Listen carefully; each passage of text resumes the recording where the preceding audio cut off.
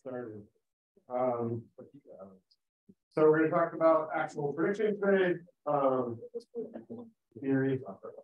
Uh, so a couple things. Um, checkpoint one due April 6th. Um, however, uh, Piazza Post may have indicated that there might be a problem with project two.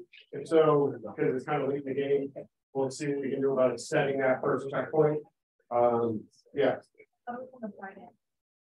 Oh, did I copy and paste wrong? Yes, but uh, yeah, sorry, the, the slide is still wrong. Um, my bad, it's the Friday. Um, I'm one of those people that can't look at a date. I don't get any the So it's supposed to be basically next Friday, right? Or is it this Friday? This Friday. Uh, so we'll see about extending it if there really is a problem with it. Um, however, I suspect given the missing first cell, uh, that there is actually a problem. Um, However, it shouldn't actually affect your work. It just affects whether the grade tests run. Uh, so, you know, if you, if you have confidence, you want to try it with Gradescope. And keep in mind, checkpoint one is, and checkpoint two, that matter, is really a pass fail. It's not, the quality of your work is not being evaluated per se. It's just whether you've made an attempt in every question uh, up until the checkpoint. That makes sense? Okay. Right, so the accuracy of them is not necessarily in question. All right, another other thing that, um, as hopefully you're all familiar with, uh, there's course assistants for this class. Um, if you would like to potentially be one in the fall, uh, you can apply here. This is the same form that if you want to do, if you're taking any other data science classes, uh, if you want to apply to be a course assistant for any of those, it's all the same form. So you can either scan the QR code or wait for the slides to go up and we'll have a link. Or if you really want to, you can type that thing in. All right, any questions?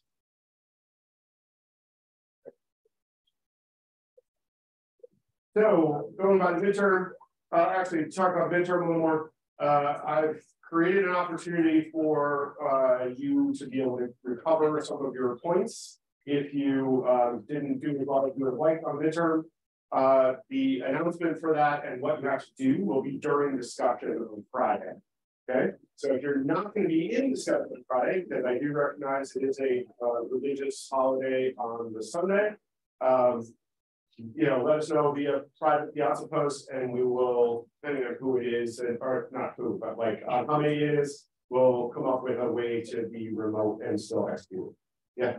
Uh, was there an average immediate posted There was not. Um, the average was about uh, like a B minus C plus. Um, so I was not thrilled with that. I wanted a higher average. Uh, so that's part of why I'm thinking about adding a uh, an opportunity to recover points. Any other questions? Um, I have a different grade on the Richmond on Gradescope and on Blackboard. No one knows Yeah, so uh, it's it's a manual process the same from Gradescope to Blackboard. So sometimes when the regrades go in or whatever, people just forget to click the button that says repost them. So um, what we'll do, what we'll do is I'll make sure they all are done tonight. Uh, I think all the regrades are cleared. Um, and I'll resync them all. So basically, if by Friday you still think they're out of whack, just uh, let well know in the discussion, um, or do a private piazza post and we'll fix the one individual ones. They do sometimes get misaligned because your Gradescope ID and your Blackboard ID for some reason don't match. Uh, so if you're consistently seeing a problem, uh, definitely let us know via private piazza post uh, because it means we have to manually go kind of fix the, the syncing between your, your two accounts.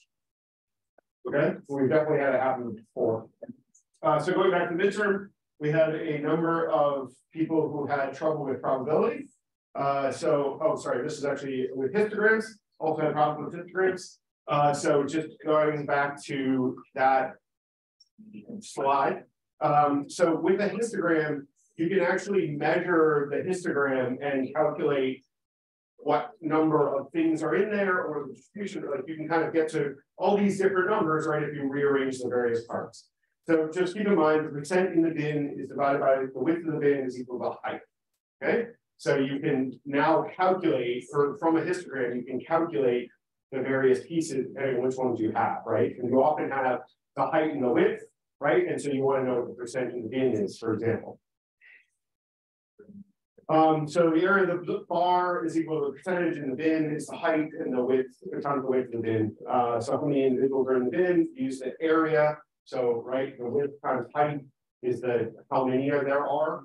Um, and then how crowded is the bin is the height. Okay, so the crowdedness, that's kind of the percentage indicator. So it's a percentage of the overall total is in that particular bin, right? And visually you can see it, right? It's whichever one is the tallest it's got the most percentage, right? The smallest ones have the least, but you can also like look at the actual numbers and it's, it's a real number. It's not, you know, bar graphs, I think tend to be, um, it's a little harder to tell, like you can't tell what the percentage is. You can just say there's 20 of them in here based on the height of a bar graph, but you can't say what percentage that 20 is of the total. And with the histogram, can. All right, so keep those in mind. It will likely be tested again on the final exam. Um, and then probability, uh, most of you seem to get probability this time. Maybe what I should be putting up here is the order of operations, because the number of people who drop the parentheses on the addition underneath the division uh, was mind blowing. So you must have the parentheses if you want it to happen first, right? So if you say four slash five plus two, it's a very different number than four slash parenthesis five plus two parentheses, right? Two very different numbers. You have to get those parentheses in there correctly, otherwise it will be wrong. So this is just how you do the probability, right? The lowest value is zero, highest value is one, um, but we usually write it with the percent symbol, okay? But that indicates that it's actually kind of to the right of the decimal. Um, and then the complement is inverse, um, and so all equal, all the outcomes are equally likely. This is how you can calculate it.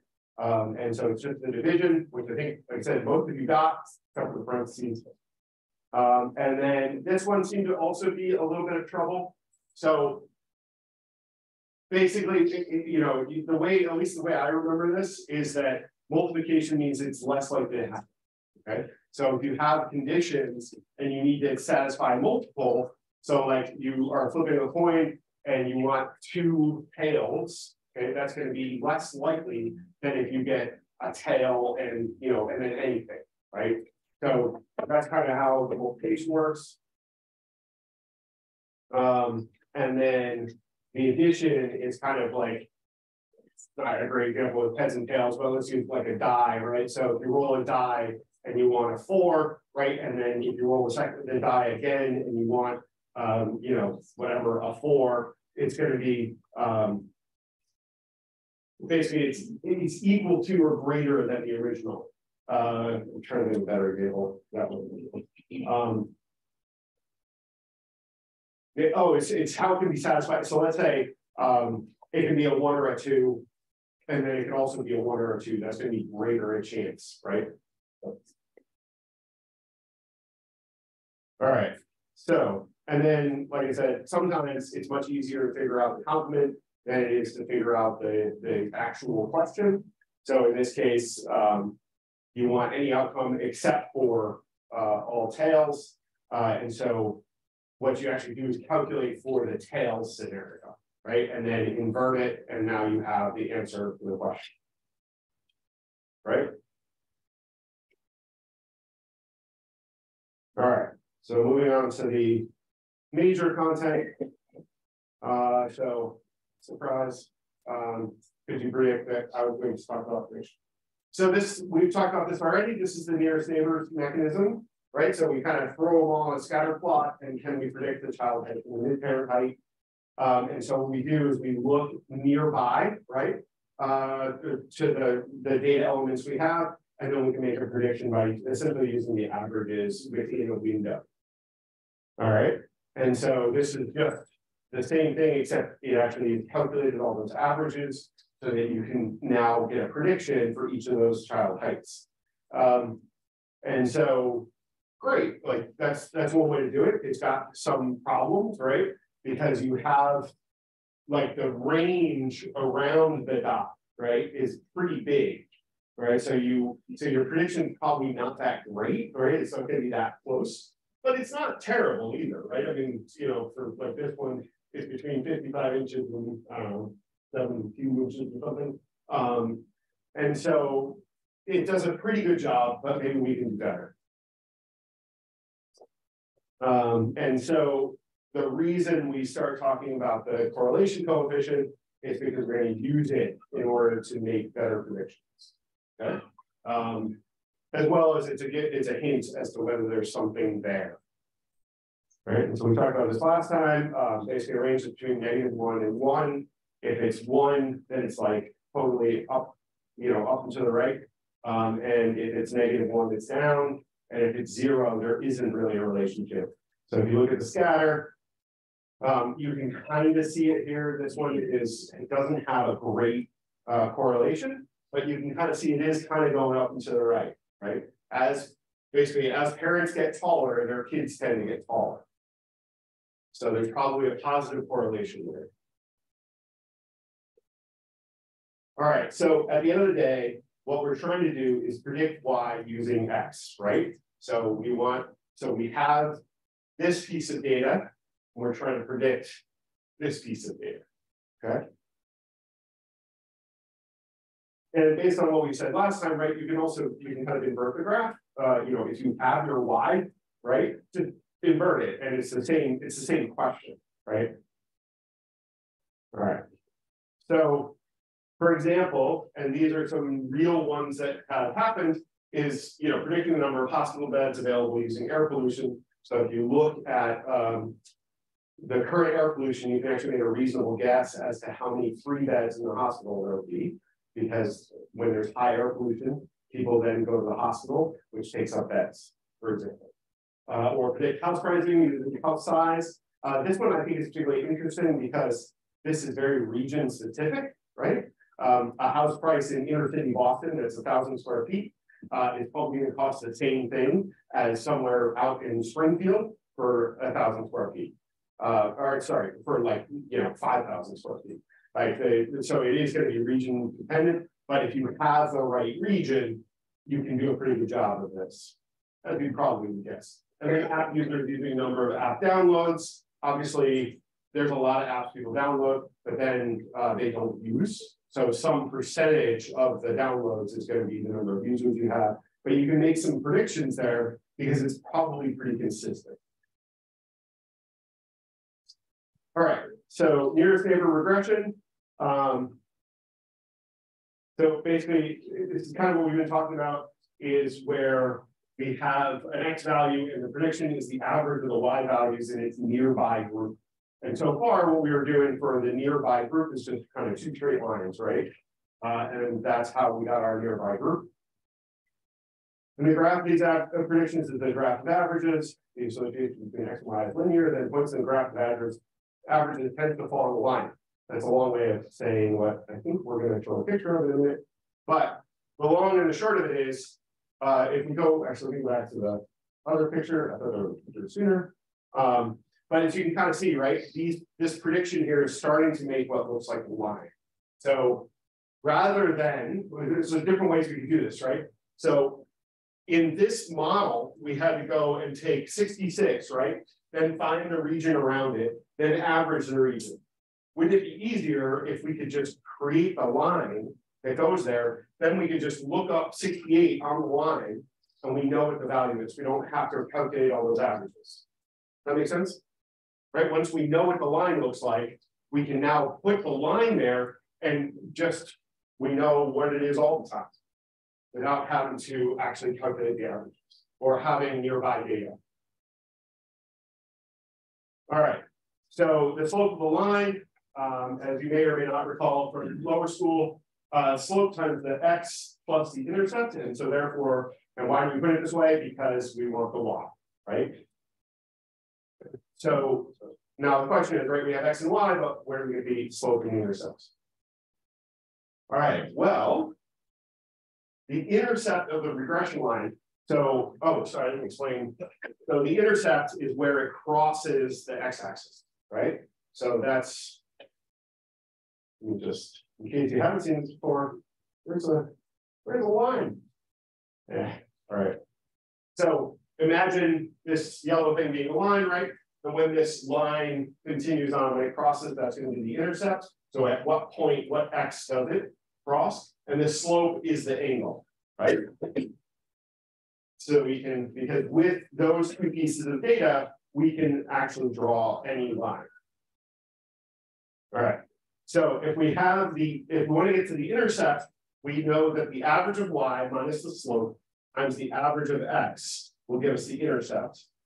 And then the slope of the regression line, the slope of the line, the standard deviation of y and the standard deviation of x, or sorry, the standard deviation of y divided by the standard deviation of x multiplied by r. Again, parentheses are required. Actually, I think you get lucky on this one. All right, and so we end up with slope times x plus the intercept. Does that make sense? Okay, so so now we have kind of all the pieces we need because we know how to get the standard deviation, we know how to do the average, we have the x and the y, and so we need to do this one first, right? Because we need it up there. So we plot the slope in there once we do this calculation. Then we can calculate that and we get the intercept. Now we take that slope that we had from before, multiply by x plus the intercept, and we get um, the estimate of y. All right, and so we generally want to do this in standard units uh, so that it's understandable. Um, because if you notice on my prior slide with the heights, right, that intercept is going to be, I don't know, it was kind of hard to tell where it was going to be, but let's say it was near 40, right? So we tend to shift the thing into standard units so that the intercept is at zero. All right. Now.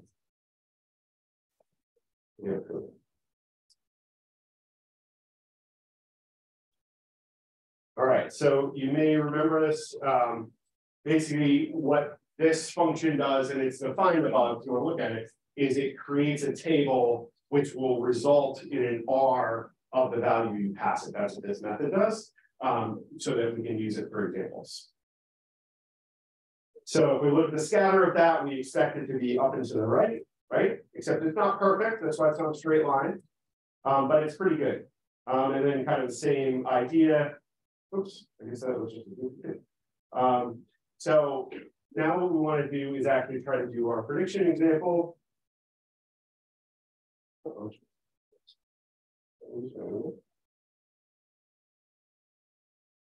actually, while I'm looking for the window, uh, the answer to the question on Piazza is 32.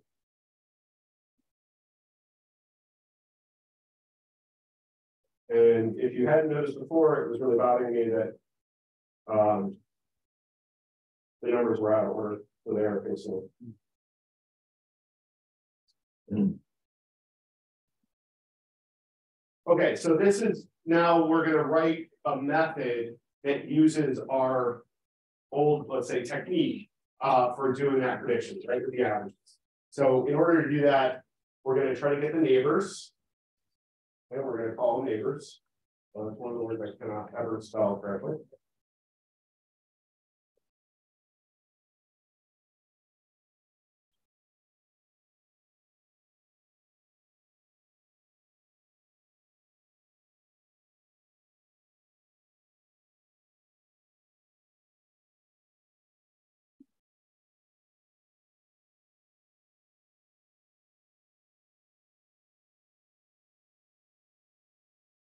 So if we're making it a little bit tighter this time.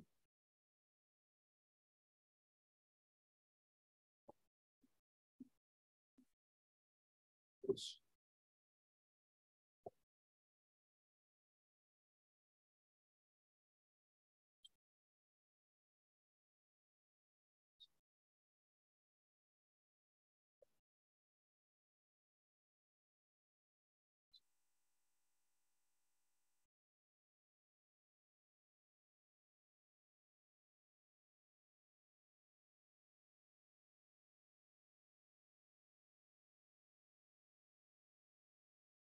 Okay, so now we have a little method that will do that nearest neighbor mechanism of prediction. Okay, except our, our input here is just that table we generated based on an R of 0.99, right? So, so when it's going up very fast, or going up very tightly, I guess is better way to say All right, so what we want to do is now add to our table um, a calculation of each of those predictions. And. Right, it. And so now we have our line that we've generated. Except it's not really a line, right? It's um.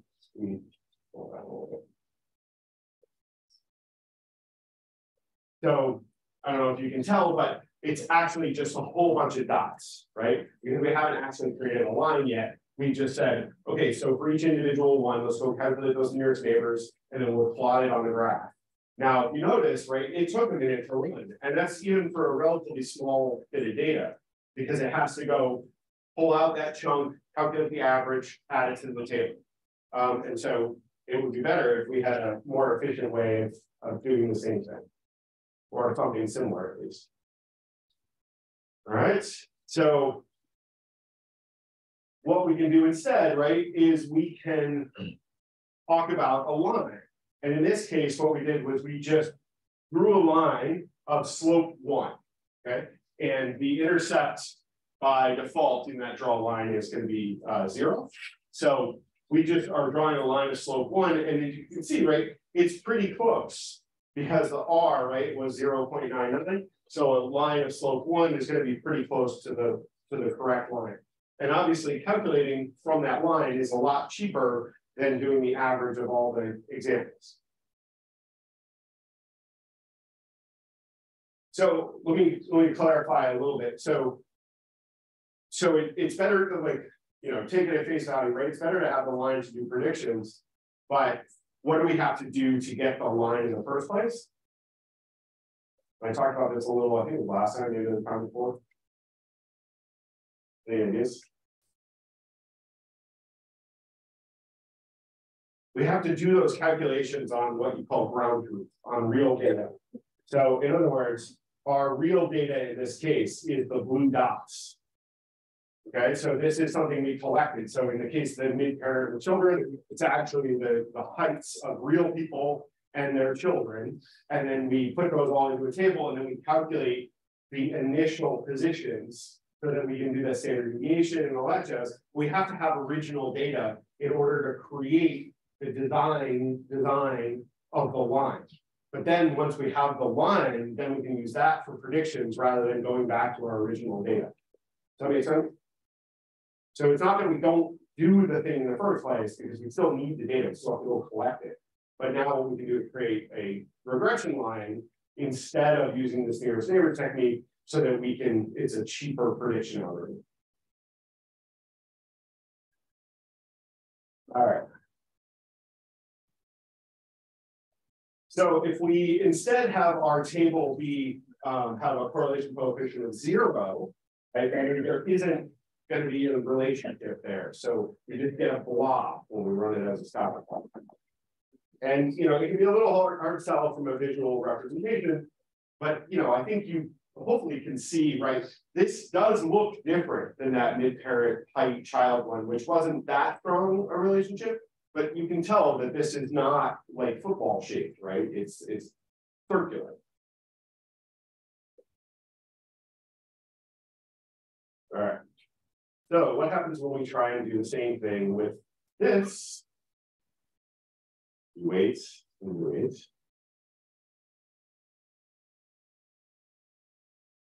Oh, okay. So here's where we start to get a problem, right? Is that our prediction is based on kind of this idea of that line, right? Or that the averages will help. But in fact, it doesn't really seem to help very much because we're, we're just kind of in the middle of the block. Okay, so it doesn't matter that we have a, like a linear relationship between the two. So we have to have a correlation coefficient. This is another reason why we need that number. So we want a correlation coefficient that's useful because if it's you know 0.01, we're probably not going to get a very good linear regression. So,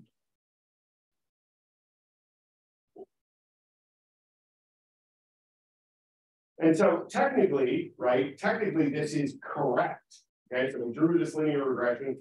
It's at zero because it was a perfectly not correlated uh, set of data. So we get this line the thing is, is that it's just, it's not a very good prediction Right, because there's so much range in how wrong we are. We're gonna talk about the error stuff in a bit. Alright, so here's a kind of a better example with 0.5, and that looks a lot like our mid-pair height. Um, and so then we can start to think about, okay, well, what we want to know is how far away are we from our prediction with the actual ground truth? So. Okay, I should go back to the slide a little bit. Um,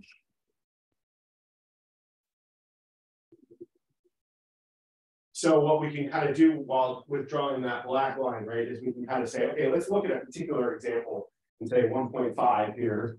Um, and kind of look at the difference between our predicted line, which is that red line, and the yellow dots.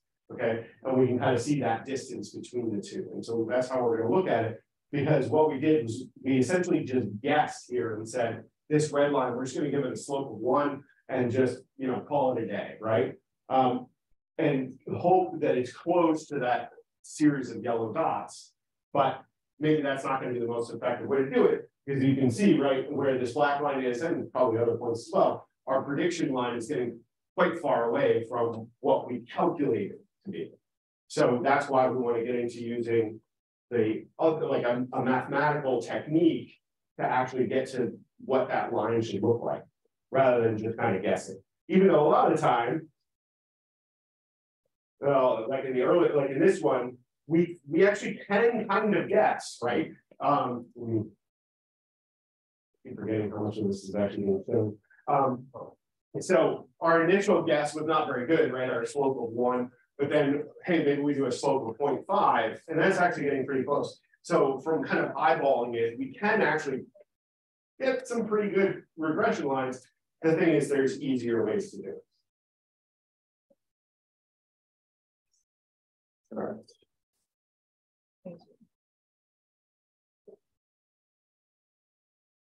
Yes. Yeah, so um, I think I was supposed to show the first part of the Jupyter notebook earlier and then talk about the regression line. But so now instead of going back to the slide, what we're going to do is okay, now let's go actually calculate the line itself. How can we figure out what it should be? Well, the thing, you know, the thing that we've already used, I want to say it was last lecture. So we have a mechanism for creating standard or for moving something into standard units, and we have a mechanism for creating the correlation. And so, you know, the one depends on the other. So then we move on to how do we calculate the slope. And so to give you a hint, right, we have the mechanism here is the, you know, the one uh, formula in the bottom left is the slope. On the top is the intercept, and then ultimately we can get to the estimate for y. So, what do we put in for the slope? Naturally.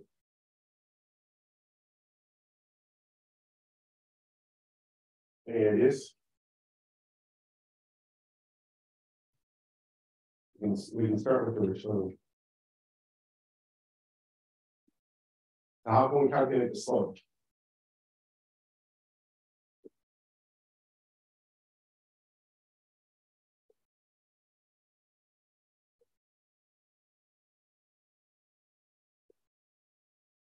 R times SDY over SDX. One more time, a little louder. Or times SDY over ten deviation of X. Right, so our R is actually in correlation, but yes, um, so. So first thing, oh, sorry, I think this is more R equals correlation. Right, so then we pass kind of all the pieces that we were given. So now we have the R, and then we're gonna say, okay, let's get the standard deviation of Y. And so we do that with NP standard, or NP standard deviation, I guess. Um, but we want to just pass it the array. Then we're gonna do the same thing with the X. And then we do basically just track, which is R times uh, the Y over SE. divided by x, that's. Okay. All right, so now we have to do the same thing with the intercept. Um, so for this. Um, we're obviously, we're gonna call the slope. But what do we need for the rest of it? Get the intercepts. Now we have a function that does the slope, so if we do. To create the rest of the calculation, maybe we. We want to get the two other parts, right? So how can we get uh the other parts that we need in that calculation? I'll just do, oh, I'll use this later. Current, then we need something like.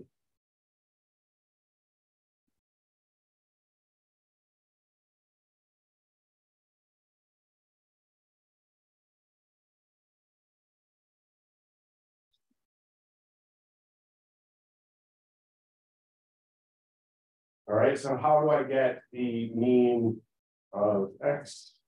and The mean of Y?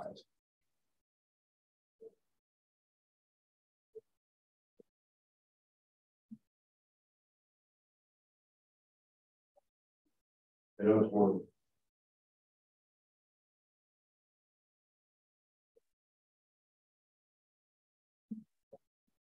Well, how do I get the average of all the X's and all the Y's?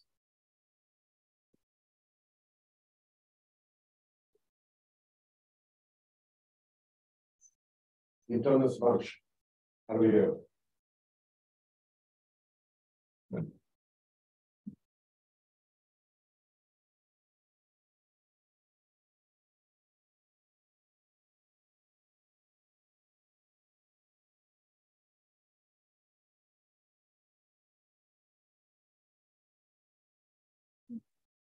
Other ideas? All right, so how do I get the mean of X?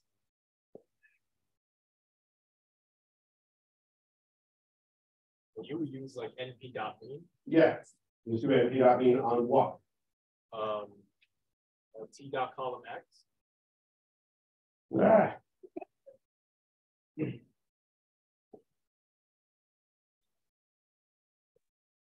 Right, and we do exactly the same thing, get to the mean of Y. Oh, wait.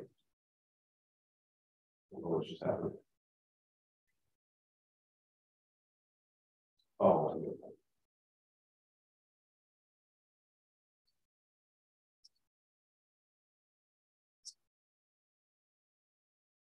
Right, so that will give us the, um. The mean of X and the mean of Y, and then if we subtract the mean of Y, subtract the slope and add the mean of X, we'll get the intercept. So now we have a method that will. You know, slope. Oh, that's all. That's all.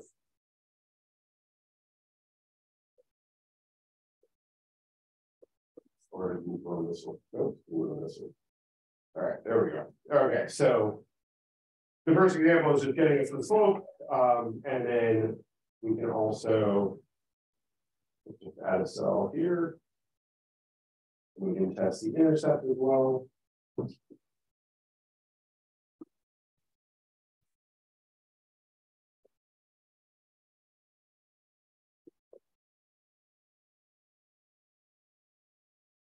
Okay, and so. At first blush, this also might be a little confusing because. The, the name of the column is X, right? But then the name of the variable is also X. So just be, note the quotes, right? Well, I should have used single quotes again, but you know, here we use quotes, but up there we don't because. What's in the variable X is the letter X, right? Or the string X. So that's why, at least, like I said, at first blush might be confusing. But so now that gives us the intercept and we give us, and it gives us the slope, and so now we can construct a line. So if we use that Galton pick data again, and we now have, you know, we just grab those two columns of Caravana in the table.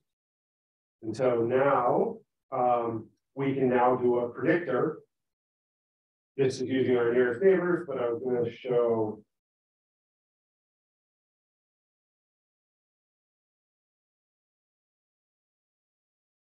was doing the predictions, and as you can see, it takes a while. But instead. All right, so instead, if we use the second method, right, we can actually look at taking the slope and the intercept. And we get that, those two line, or we get the two pieces of the line, and here's the heights of that individual record, so, yeah. For the intercept function, you put mean y minus slope plus mean x. But shouldn't it be mean y minus slope times mean x? Yes, it should, I'm sorry. This is why uh doing demos and lectures is always scary. And why I try to have good sheet. Uh, let's actually get that correct. All right. All right, so. Now we kind of have enough information to be able to do the slope and the intercept, and so we can now start to do predictions. Based on our mechanism. So what we did first was we just did the average nearest neighbor predictions. So that we can get an idea of what was our, our first technique for doing the prediction algorithm. We just threw those in the table along with the actual data. Um, and now we can do it with the regression prediction, which make sure I don't have again this time. Um,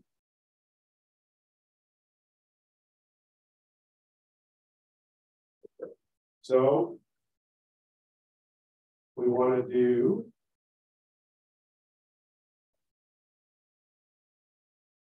Yeah, so, so this is kind of, I should, I should read the function, but we'll just do it this way because it'll be a little clearer what's going on. Um, so heights dot column. Mid parent.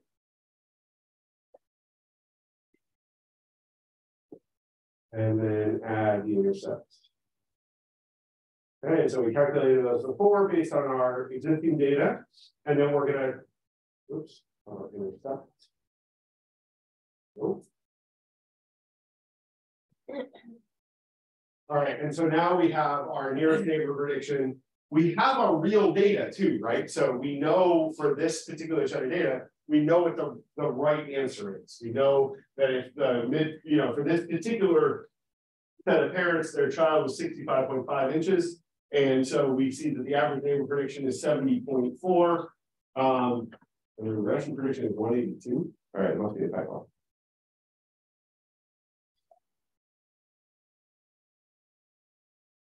Oh, I better re recalculate the slope after the single code.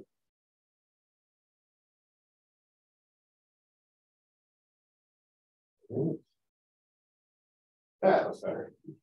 Okay, so the regression prediction now, as you can see, know, it's a much cheaper way of getting to that same-ish data.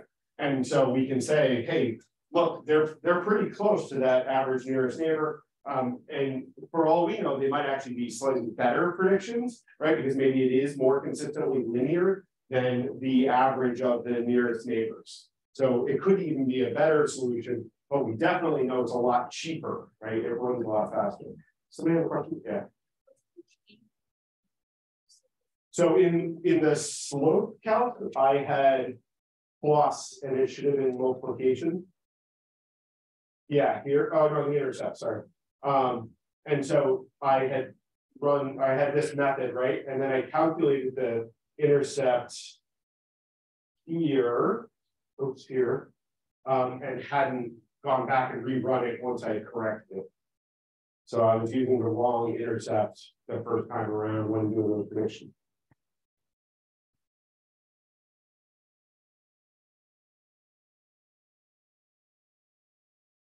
All right. And now I can actually throw all of that onto a scatter plot. And so again, even though it looks like it might, it might look like it's lines, they're not actually, it's actually just doing individual predictions, not drawing a line. So the yellow dots are using the nearest neighbor mechanism, and the blue dots are using the regression or the linear regression prediction. Um, you will commonly hear a linear regression referred to as just a regression, so you kind of keep that in mind. Um, but as you can see, the blue is actually a line, and it's it's pretty close to the yellow one, so it's probably pretty good. And like I said, could even be better, depending on the nature of the data. All right, so. Now what we want to do is figure out what's our, our error, right? And so. Let me show this prior picture a second. Um. So if you kind of look at. I don't know, eh, maybe this isn't that helpful, but um, so we call this least squares because you kind of look at the distance, it almost like a square away from the individual item.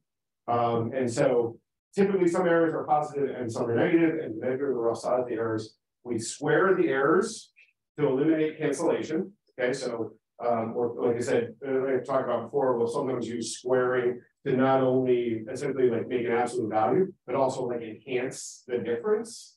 Um, and then we take the mean of those squared errors, and then we take the square root to fix the unit, so to kind of bring it back to where we started. Um, and then we end up with what's called the root mean square error, okay, or the RMSE. And, and typically we talked about MSE last time or the time before, um, but root mean square error is the one we use most commonly. So, a little demonstration of that.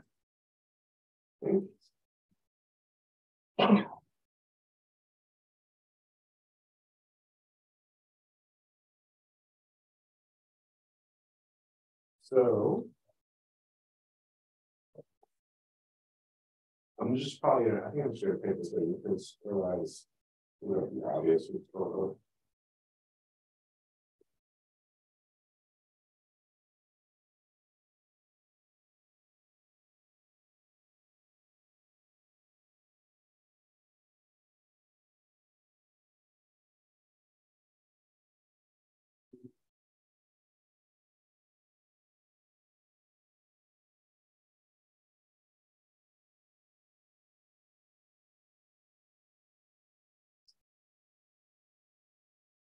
going on. Sure.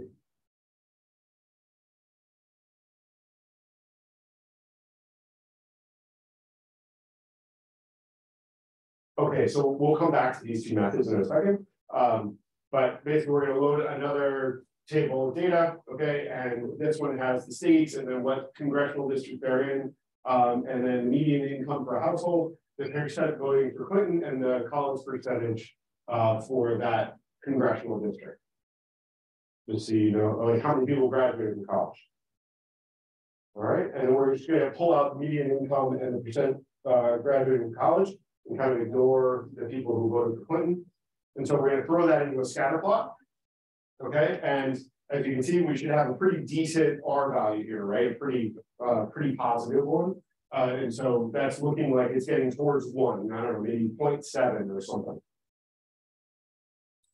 All right, but then we can actually calculate it, oh, little off, so 0.8, okay, we actually calculate the R value for um, this, these two data elements. So we can see it's 0.81, so that's a pretty good correlation, pretty good positive correlation.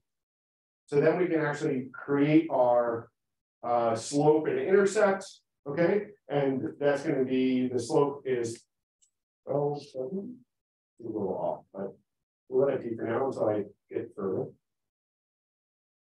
And then we're gonna actually do our prediction by calling this method fitted values, okay? And fitted values is the one I just kind of scrolled by a little bit quickly, but it, it's kind of like a, another way of saying here, you know, you estimate it using the regression.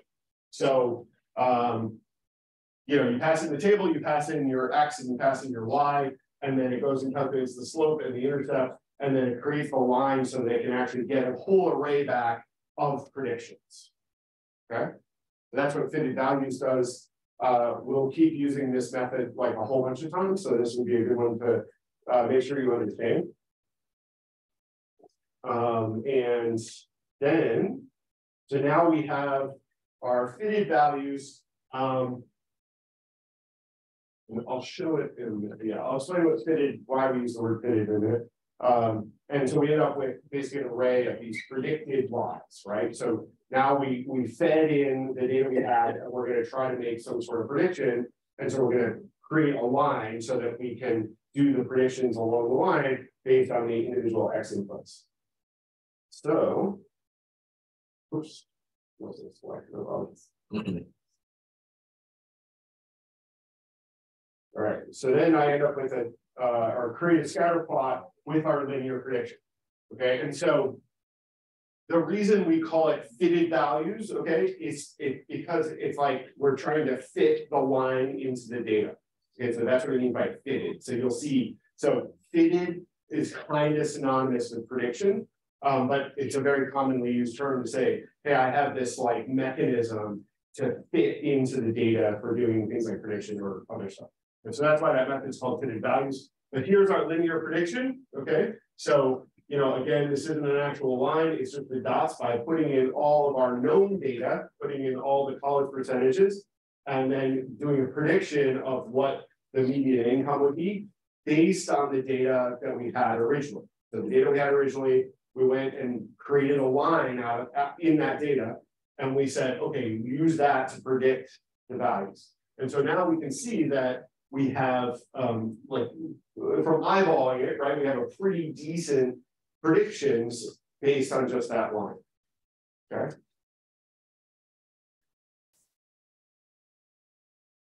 So. Catch up with my cheat sheet here.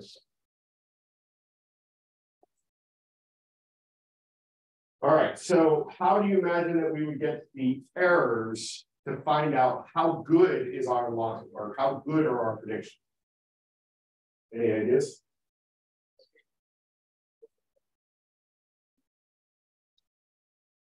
And if you notice, we we have the the correct answers, right? That's what the blue is in that graph, right? Those are the correct answers. As in, we went out and actually gathered this information, and this was the correct answer. So we want to compare the correct answers to our predicted answers. So how would I do that? Very simple. There it is.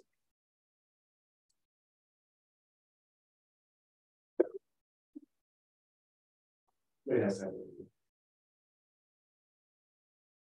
We might want to look at the difference between the two. So how would I do that? Mm. Subtract them. So we can just say, and we're just gonna do this in this direction to kind of set it up correctly. Um, technically, right, if you were just looking at the difference, it, it doesn't matter which one you're subtracting from the other. Um, but we can throw that into our table along with now we have median income, we have college percentage, we have our linear prediction, but remember, we're trying to predict median income. And now we have the error from median income and linear prediction. So what we did is we took all of these X values, we created a prediction, and then we subtracted it from the right answer. Okay, to try to get a sense of how good is our line, right? And it looks like it's pretty close, right? I mean, the numbers seem biggish, but you know, if you kind of look at the examples, you know, so this is 13, uh, $1,400, right? Between, you know, 51,000 and 50,000. So that's actually pretty good, right? And we probably are in general doing a pretty good job. Because I haven't noticed. All right, so then we might want to look at that average of the errors, okay? And so um, the average is really pretty close because if you notice, right, this is in uh, scientific notation, that's, a, that's quite a small number, right? So it's really close to zero, so that our, oh, sorry, I, uh, I, I got ahead of myself. Uh, any ideas why this is really close to zero? So first of all, this is a, an error on the part of Python, because remember, that's 13 digits that way of zeros, okay? So that means that Python blew itself up. So just read that number as a zero, right? Actually, I can even do it's just uh, random. And that'll be a little bit clearer, right? So, so it's just a straight up zero. Okay, so I got ahead of myself. So why is it zero? Does that mean we're perfect? Our errors are awesome? Like we have no error? We can put it out on top and bottom. Right, so the problem is, is that our errors are equally wrong above and below our line. Which is kind of a good thing, but doesn't tell us all that much about how good the errors are in general. So they're evenly distributed, but that doesn't necessarily mean that, that we don't have a ton of error. So.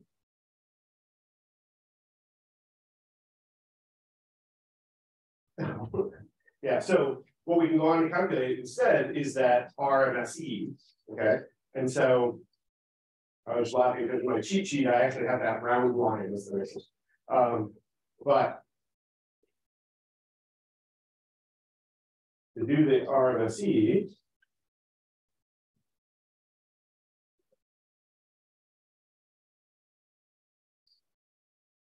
So going back for a second, we take the square of the errors to eliminate cancellation, then we take the mean of the square errors, and then we take the square root to get it back into the same units. So that's what we're doing here. We're taking the mean of the, or sorry, we're squaring the errors, and we're taking the mean of that, and then we're bringing it back to the same place. And so our error is about, uh, you know, not quite nine, uh, ninety-four hundred dollars, okay? So if we're talking about this range of salaries of like, whatever it was, it was like thirty K to like hundred K. It seems like, you know, ten K, that's not too bad, right? Maybe not quite as good as we would like.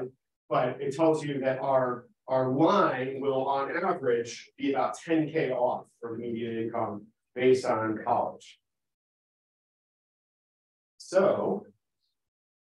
We can actually start to draw that out by using that method that, I don't know why I had examples in there, but we can, we can talk through it if we like, but basically, this is kind of what we're doing is we're, we're calculating each of those red lines and we're kind of averaging them together uh, so that we know how far, generally speaking, we are from that linear prediction. Okay, and so that's how we get to the error, which will tell us whether or not this is a good way of predicting this particular data element. Um, and so this is kind of just more examples, but if we are, we can use this function. And this is probably not a function I would really test you on, although I think you could be, you'd be perfectly capable of writing it. Um, but all it's doing is it's saying, okay, we're gonna, we're gonna take these kind of samples that, uh, that are, are hard coded in. To show where the differences are, so that we can then draw a scatter plot. And then we're gonna make, um, we're basically gonna plot those red lines on there. By moving our line around, we can see how well it does. So instead of actually kind of calculating the line, we can actually just guess, right? And in this case, we're gonna give it a slope of fifteen hundred and uh, an intercept of whatever it is, twenty thousand. And we can kind of see, at least graphically, we can see, hey, this is, uh, you know, how does this one do? And these red lines kind of are the distance away from it. And so. This is kind of a way of visualizing the different kinds of errors we have. Um, you know, obviously, this one uses entirely the wrong kind of slope because it's negative, right? So the slope is going down. But so we're just trying to, I'm just trying to show that you can actually plot it on the graph and actually see where those errors are. And we're, we're gonna have some more ways of looking at errors in a second.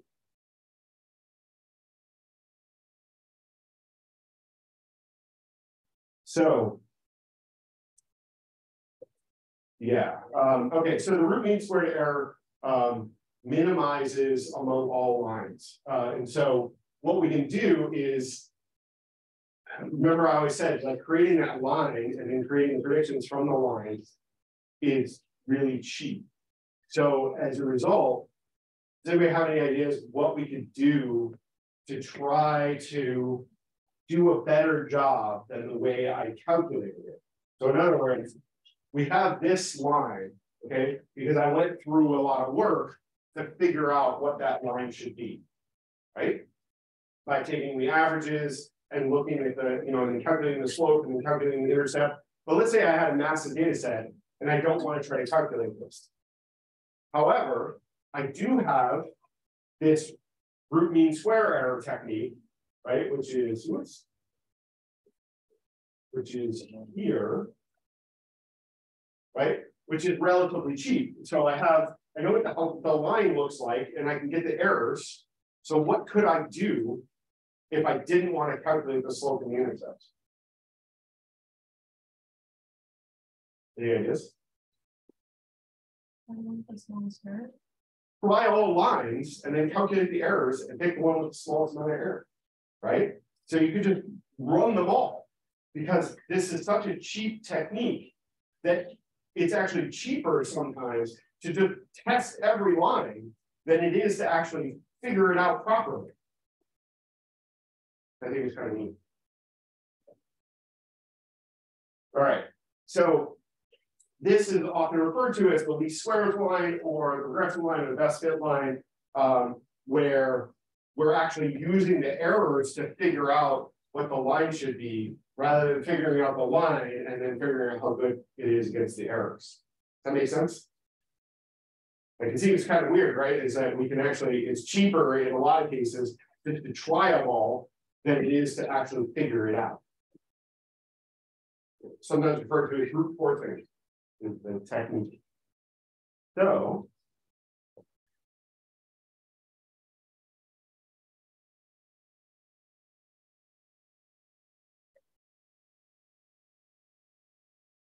All right, so to get the mean square error is what we need here, right? Because we talked about it last time. We do the NP mean of the y minus our prediction.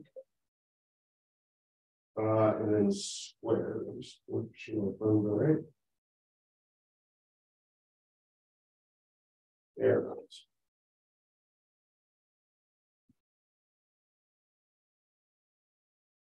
Okay, so I'm kind of just doing it in two pieces so that it's a little uh, easier to follow, but we can show these demographics are see um, and.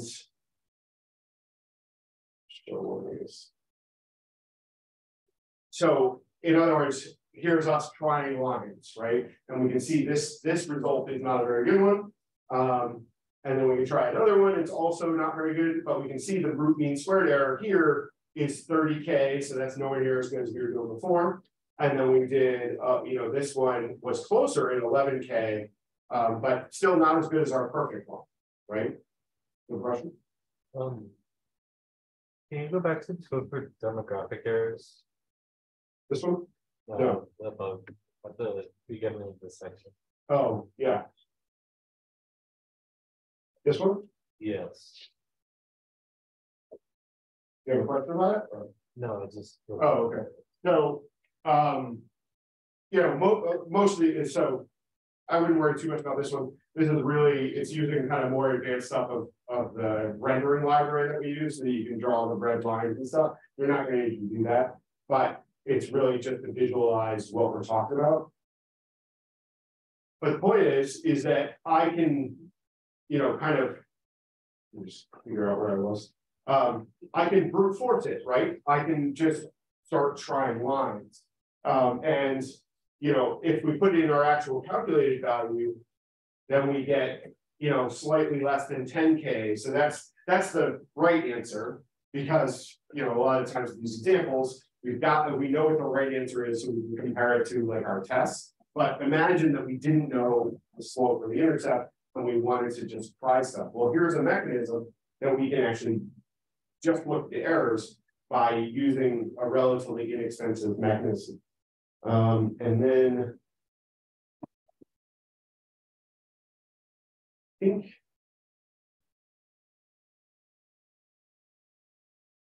Yeah, okay. Um. Ah, uh, mouse is like completely stopped there. Okay, so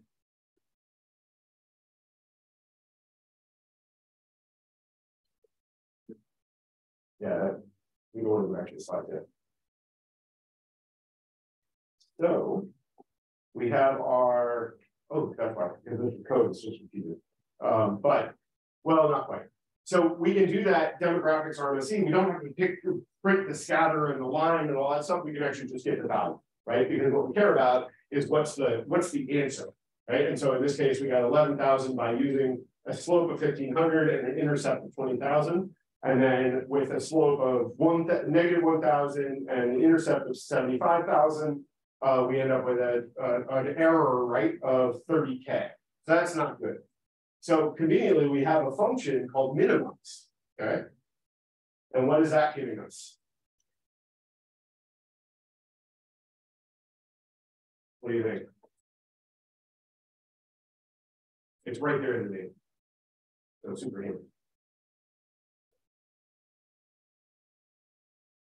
handy. Of, right, so, so it's the slope and the intercept of the smallest one, of the smallest error.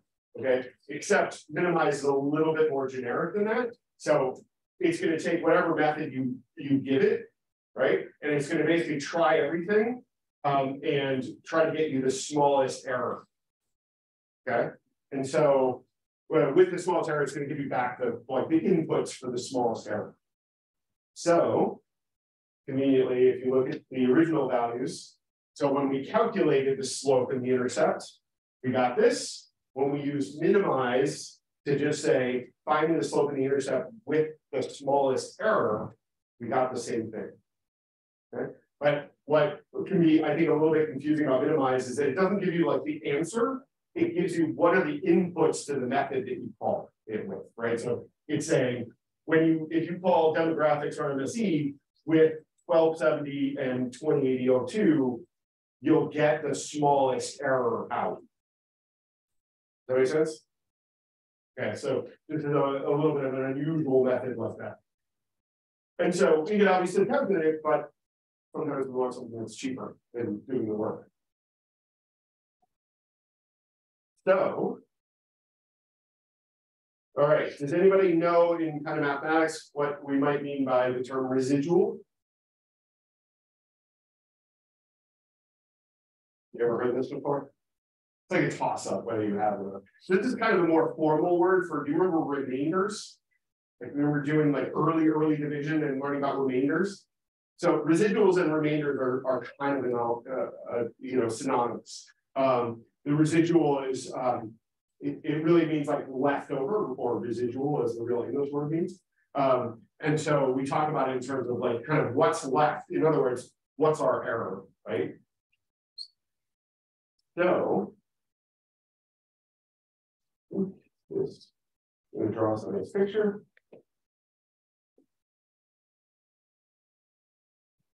Oh, no, it's just giving us the function to draw this. Um, okay, so. Now, what we want to look at next. Actually, let's talk about. Yeah, so what we want to do is kind of look at what's left. Okay, so in other words, okay, now we have our prediction mechanism. What if we want to look at the data that is the leftover? So in other words, we do our prediction. How is it, how does our prediction compare to the actual data? And then can we grab all of those examples and look at the result of just the differences? Okay, and the reason why will be in a minute. Um, so again, we're just essentially going to do subtraction. Okay, so we're going to take T uh, column, oops, Y, and subtract predictions. Okay, because that's using that same fitted values. Now we have a method that we can call to get the residuals or the leftovers from uh, running one of these demographics. So our residual is kind of our, our leftover on our test. Um, and so I don't know, let's let's look at that next bit. Um, and so this is what we can start to see. Okay, so uh, keep in mind this is almost like two data sets being put in the same scatter plot. So it can be a little bit confusing, but the blue bits, right, are our real data and our fitted values. And then the green bits down here, this is our residual. So it's kind of like the leftovers whenever we do our predictions, Okay.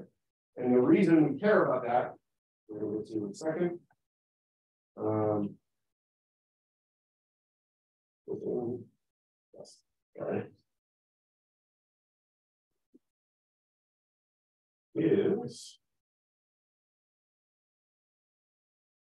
if we look at them separately, okay, so now I did, it's exactly the same graph, Except I have now separated the two scatter plots. So the first one is that our affinity values, et cetera, and then our subtraction, which is our residuals, now is on its own graph rather than kind of shoved into the bottom of the first.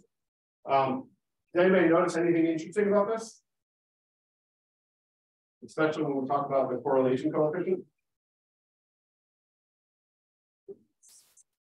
It seems to have like a opposite sign correlation coefficient. for that. Close. It's, it's worse, or it's, it's more than that. It's actually, it should be getting close to zero. Because what we want is we want those residuals, right? We want that scatter to be as small as possible. So in other words, there shouldn't be any correlation in there. So the closer we can get to the, the opposite of what we want for a correlation coefficient, so the closer we can get to basically just a blob, means that our distribution of error is now kind of perfectly uniform. Right? Because what we're doing is we're plotting just the error differences. So now we can see, hey, okay, yeah, we have a certain amount of error, whatever it was about 10K, but we know it's always within 10K if we have a perfect circle, right?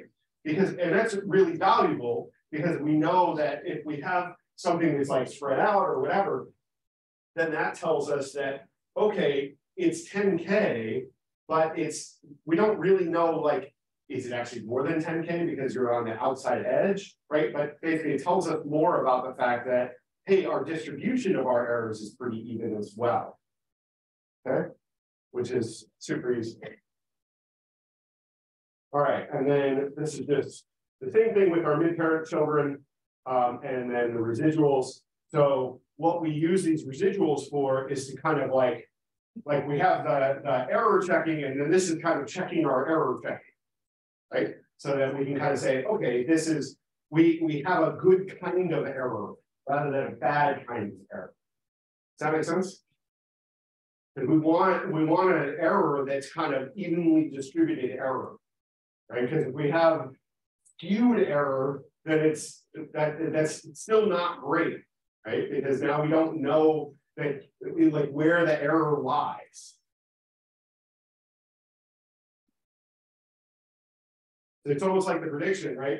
We want to make a prediction and we want to be able to predict the kind of error we're going to have. So if the error is uniformly distributed, then we know that the error is like that. We know that, yeah, we might be wrong, but it's uniformly wrong anywhere that we make a prediction.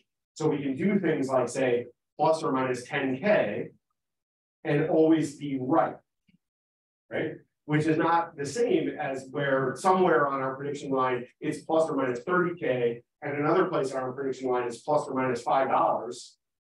That's not as good a, it's not as a useful a tool as when we can say plus or minus 10K, right? Does that make sense? Kind of like layers of indirection that really tell us, it tells us more about the solution and the problem that we're looking at than just any one of those pieces alone. Okay, so um, yeah, so the residual corresponds to each point. We have a residual in three ways. So the observe, there's different ways we can calculate it. So we can observe y minus the regression estimate of y. So the observed y minus height of the regression line at x, which is kind of the same, that's the same thing, two different ways of saying it, or the vertical distance between the point and the best line, kind of a third way. Really the, sorry, it's really three of this, three ways of saying the same thing. Okay, or different ways we can kind of think about how we calculate the residual, but these are, this tells us what the residual is for any given point. All right. And I don't think we have time for dugongs today. We will talk about them next time. They may know what a dugong is. I believe, I might be wrong, but I believe they're freshwater manatee. That they're only found in like the uh, Mediterranean or Black Sea. Um, but uh, I, am not a fish and wildlife person. Um, all right, so just uh, remember, uh, we'll post something about uh, uh, project two if there's a, an issue. Hopefully, it's an easy fix. Um, but it's supposed to be due on Friday. Uh, I think of course if you're interested. Um, kind of cool Uh, number was? Thirty-two.